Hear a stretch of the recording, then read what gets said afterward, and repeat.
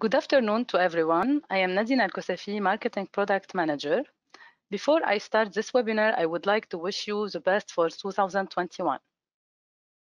It is my pleasure to welcome you to our webinar dedicated to the prediction of forging defects using forge simulation software. At the end of the presentation, my two colleagues, Max Binego, hello Max, and Stefan Andrietti will join me for the question and answer session. Now, the camera will be turned off and it will be back during our conclusions.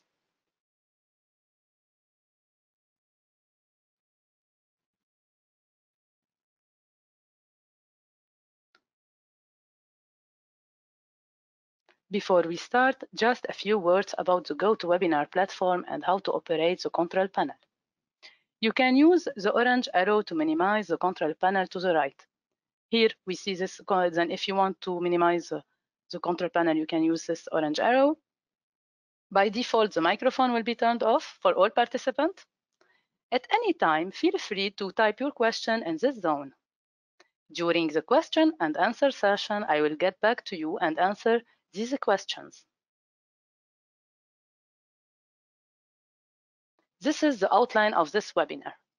First, I will start by showing how the simulation can predict closed die forging defects. For example, underfilling, faults and laps detection, piping defects, and improper grain flow. The second part is dedicated to defects originate from the starting material, such as shear mark, central looseness.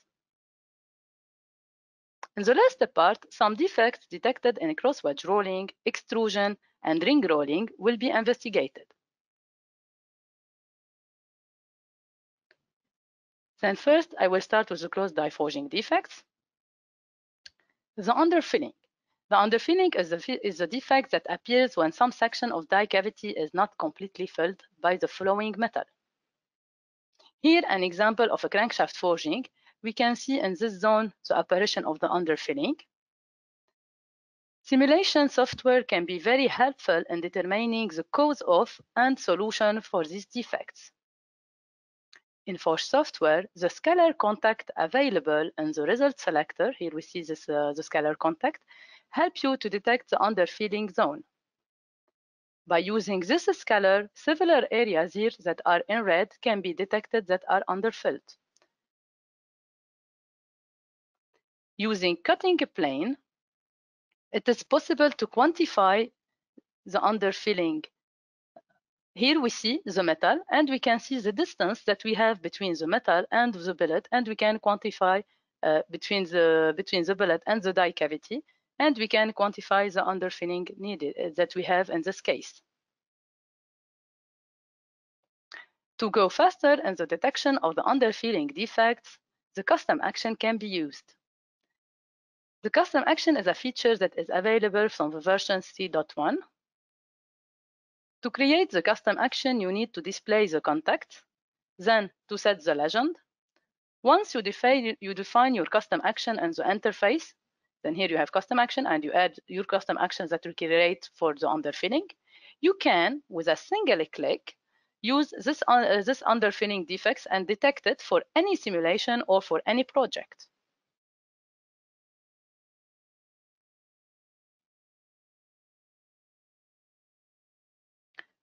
Let's go to another defect, faults and overlaps. Then faults or laps uh, are, are defects that appears when two surfaces of the metal faults against each other without welding completely. Here a case of a brace fitting is present. And we see how the simulation can predict this defect. Then here to the right, we have the numerical simulation results. We can see that by analyzing the metal flow, we can detect this defect results are in very good agreement with the reality.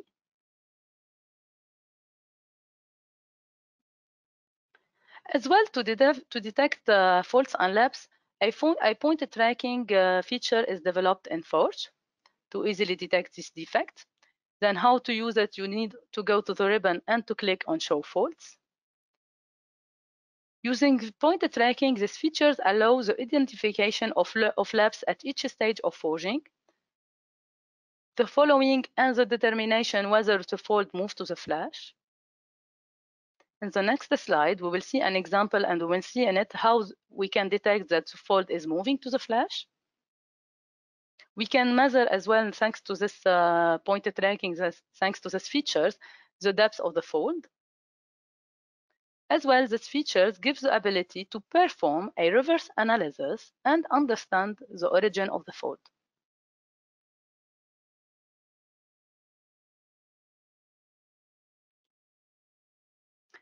Here an example of faults and laps detection in a femoral implant forging case. Like I said, so to use the pointed tracking, we need to go to faults, then click on show faults. This allows the visualization of the fault that we see here in the graphical view. As we see in this video, points in red indicate where the material entered in, in contact with itself, then here, when we have a very important concentration of points, we can detect the apparition of the fold. We can see that the fold move to the flash of the part. Then here, the, more, the fold appears, and we can see how it, it moves to the flash. In Forge software, the adaptive remeshing that we see here, we have an, an, an adaptive remeshing that, that happens during the wall simulation. Thanks to the adaptive re, uh, remeshing, we can accurately uh, detect the faults.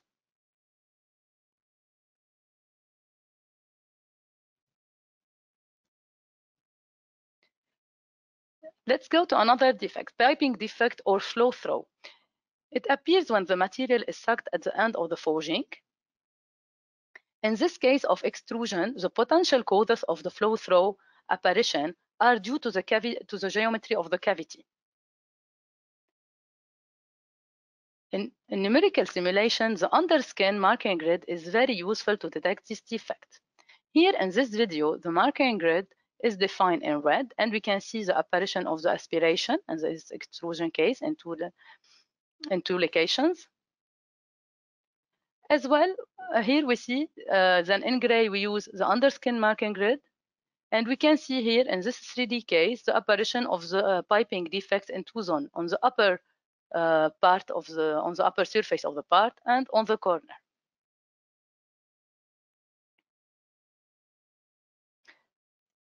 Here, another industrial case where we will detect the piping defect. Then the piping defect has been detected, as we see here in this image, by using the underskin marking grid. In green, we see the underskin marking grid that was defined in the simulation, and we can see the apparition of the piping defect in this zone.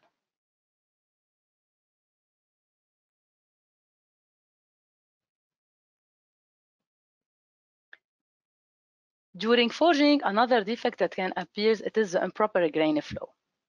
The deformation leads to the grain flow orientation the grain flow lines of the metal may not be formed in the proper direction. Here, the grain flow do not respect the specification needed to guarantee the part mechanical properties. This grain flow doesn't respect the specification needed in the head of the screw. To the right, this grain flow uh, respects the specification needed, the SA USCAR 8 specification needed in the head of the screw. We can see the lines and the form of the lines and the head of the screw. Here, a forming sequence of a hex Torx head screw is presented. We will see then here in this case of forming sequence, we have several uh, stations. We will model then the forming of the screw. We see how the marking grid is useful to detect the improper grain flow or to check the quality of the forging part.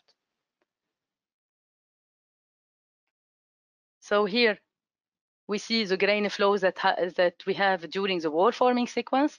Then thanks to Forge, it is possible to follow the grain flow during the wall forming sequence.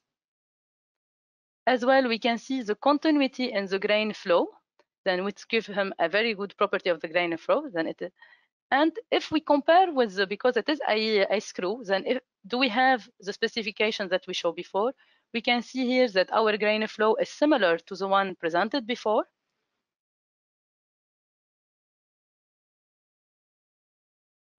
Let's make a recap on the closed die forging defects. and how they can be detected and analyzed using specific tools and Forge. For example, underfilling can be detected by analyzing the contact scalar. And to go faster, we can use custom action to detect the underfilling with a single click for any simulation. To identify the faults, a point tracking feature is available. And it is possible as well to identify the fault to use the marking grid.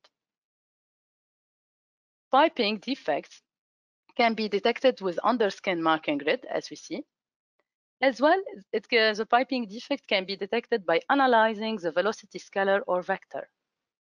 In fact, in zone where the, we have piping defect, the velocity scalar or vector is neglected. To check the quality of the grain flow or to check if we have an improper grain flow, we can use grain flow fibers. And even we can follow the grain flow fiber during the wall forming simulation.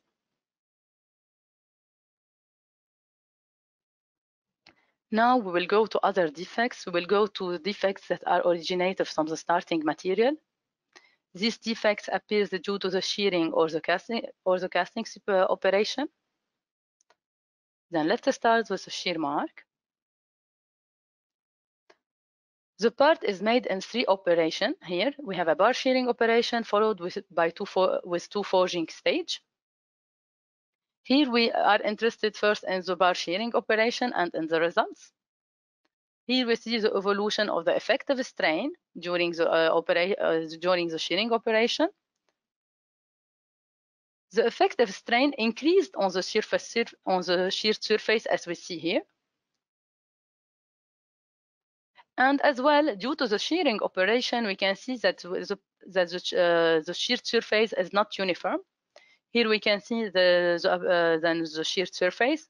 We can, by comparing to the reality, we can see that even in reality, it, uh, then we obtained a sheared surface that is not uniform. And our numerical results is in good agreement with the experimental one. Improper shearing operation may cause the apparition of high residual strain on the final part. Marking grid can be used to track the sheared surface. Then here we see the, the marking grid that has been used to detect, uh, to see, uh, to track the, the, to track the sheared surface. We see the evolution of the marking grid. Then in gray, we have the marking grid on the sheared surface. We follow this marking grid as well in the next operation of the forging on the blocker stage.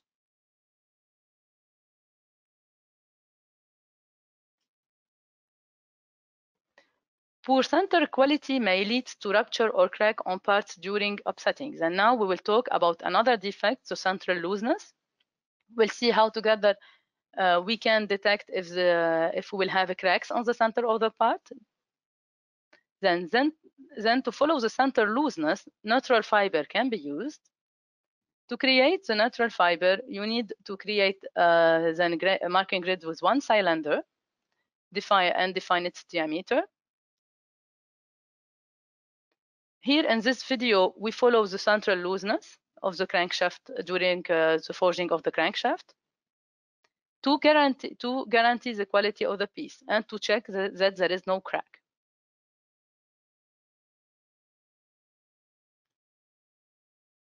Let's make a recap on how to detect defects originate from the starting material.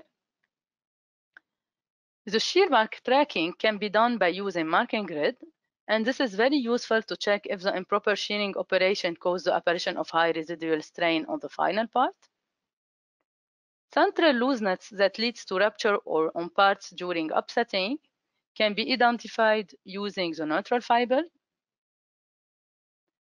We didn't talk about porosities, but the porosities, these are the, uh, that can happen during casting Thanks to the direct export from Thercast to Forge, it is possible to follow the evolution of the porosity and the carbon concentration during the forging simulation.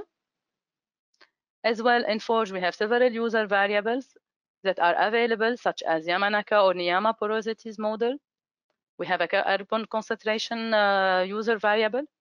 Then it is possible to model in uh, Thercast casting simulation and to uh, make to take the results and to follow the evolution of the porosity in Forge.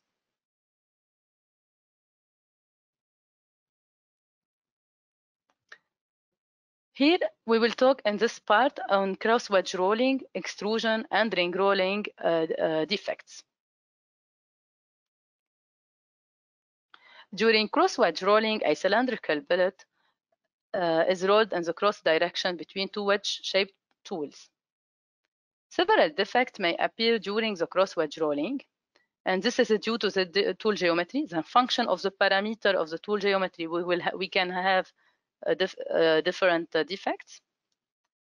The torsion may appear uh, on the billet. Here we see the detection of the torsion during a cross wedge rolling case. The torsion was detected by using the marking grid. Then, like I said before, function of the cross wedge rolling tools, parameter, several defects can be present during the cross wedge rolling process. For example, Mannesmann effect, sliding, and section reduction. Here, these cases simulation, I will present both the three cases, simulation one, where, we'll, where we will see Mannesmann effect, simulation two, and simulation three. Let's see together. Then, first in simulation one, the cross wedge rolling condition are close to the risk zone. Then internal cavity can be present. Here, a hot here in numerical simulation, a hot critical value of Latin-Croft and the center of the part is present. Then we have a critical value of Latin-Croft of 1.5, which in, uh, indicates the presence of risk zone. In simulation 2, the cross-wedge rolling tool parameter leads to the sliding defects. We can see the, the, the geometry of the part. Here, analyzing the form of the final part obtained by the numerical simulation, the sliding defect is present. In simulation 3, the cross-wedge rolling tool parameters lead to section reduction. We can see how the initial uh, diameter goes from 22 to 11.5 millimeter. In the center, a critical value of Latin-Croft is uh, present. We have a value of Latin-Croft uh, higher than 2.7, which indicate maybe the breaking of the part.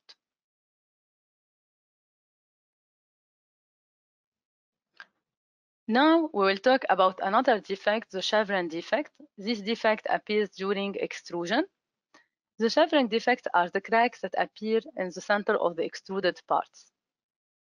In fact, areas of heavy plastic deformation do not meet in the center. Chevron defects are found when the material moves faster at the boundary of the part than at the center. Numerical results, as we see in this video, can be used to predict this defect. In this example, to, the, to analyze and to detect this uh, damage, we use the normalized Latin-Croft criteria. And for several damage criteria are available. Here, a case of cold rolling of a steel bar uh, is uh, are present. Then several cases of cold roll bar are present. These cases has been pro, uh, have been provided by Christophe Vacher of Ugitech. Then thank you, Mr. Vacher. To detect the surface defects, we use Lemaitre uncoupled criteria. We can see here then the damage that uh, appears numerically. We can see that our uh, the numerical result is in very good agreement with the experimental. We can see the form of the damage on, that appears on the surface of the cold rolled bar. Down we have uh, in this in this another case we have another type of defect that appears on the surface. This defect is similar to the one that we see before to the chevron defect, but this time this, uh, this defect appears on the surface. And to detect it, uh, Ugitech use the Lemaitre uncoupled criteria.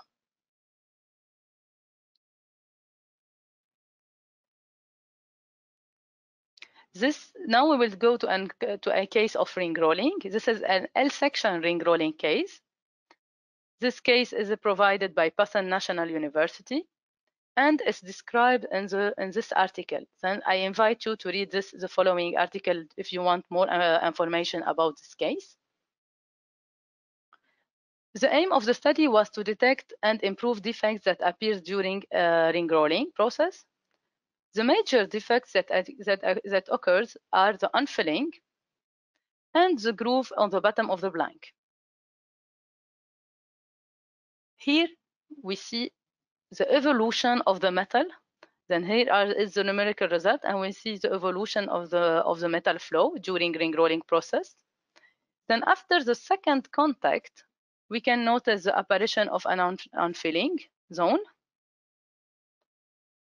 And here we see as well that the lower part of the blank is compressed by the mandrel and the driven roll and the bending is cause, uh, will cause the groove, the apparition to and the generation of the groove.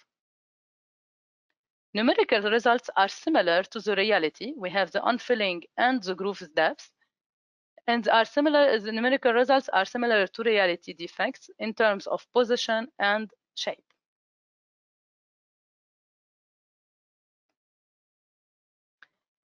In fact, using numerical simulation, it is not only useful the numerical simulation to detect defect, but as well to correct this defect or to remove them or to reduce the, this defect. How to remove the unfilling defect? By increasing, here we will see together, in this case, how we reduce these defects. By increasing the height of the blank and uh, the flange angle of the blank by 3 degree, we, we see here that numerically where the underfilling is removed. As well, we see this, uh, that the underfilling has been re removed even in, the, uh, in reality. Now, how to uh, how to get a better results for the groove the defect? Then by increasing the depth of the groove of the driven roll, we go from uh, from A, which was the convention, conventional test, to, to B, to modified uh, geometry.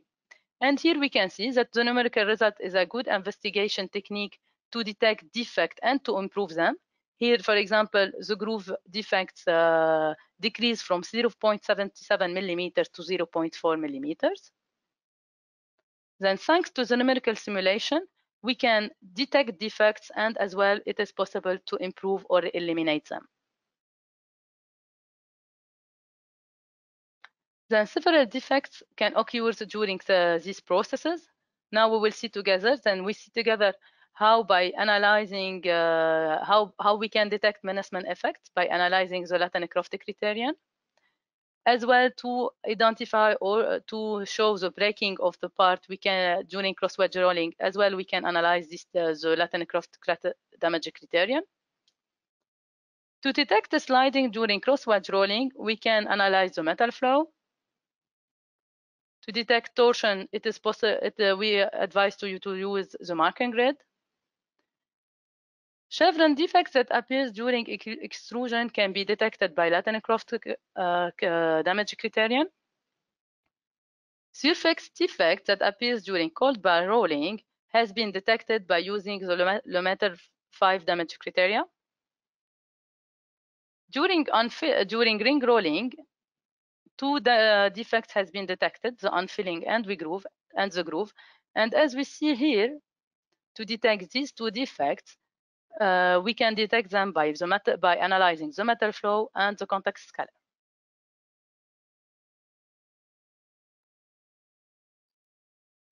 Forge incorporates several tools to detect defects. The marking grid used in the detection of faults and piping defect and improper grain flow. The point tracking useful to detect the faults. Custom action can be used to go faster in the analysis of any of uh, of, for example, the underfilling. Results such as uh, the results such as, uh, for example, the contact can be used to analyze the underfilling. Uh, the velocity can be used to analyze the piping defect, for example. To check the crack evolution, we can use the first principal stress and the triaxiality stress. Forge incorporates several damage criteria. Some of them are coupled with the rheology, such as Lemaitre, and others are uncoupled, like Oyane, Tracy, Rice Tracy, Latin-Croft, Brozzo, and others. Interoperability between Thercast and Forge allows to the allows the follow to follow the allows the following of the evolution of the porosity and the carbon concentration through the forging simulation. Then, thanks to the coupling between Thercast and Forge, it is possible to follow the to follow the evolution uh, from Thercast, uh, then uh, uh, to follow the porosity evolution.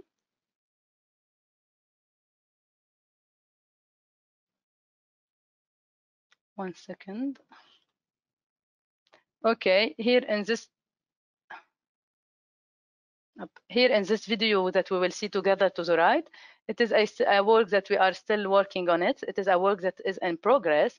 And here we see a new way that we are developing to uh, detect the crack uh, on the part and the crack evolution in the part. This new approach is based on the phase field with an adaptive remeshing. Then this work is still on the, in progress. It is an accurate and uh, innovative way to initiate the crate, the, the crack, and to follow the, its propagation on the part. Thank you uh, for your attention.